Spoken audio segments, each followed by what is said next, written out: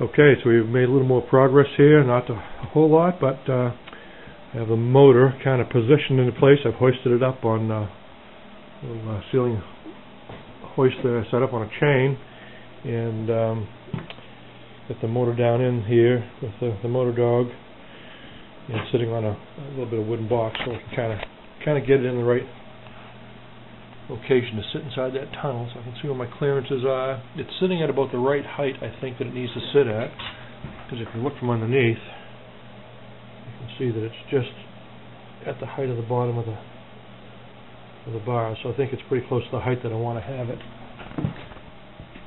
Know, the back side of this tunnel.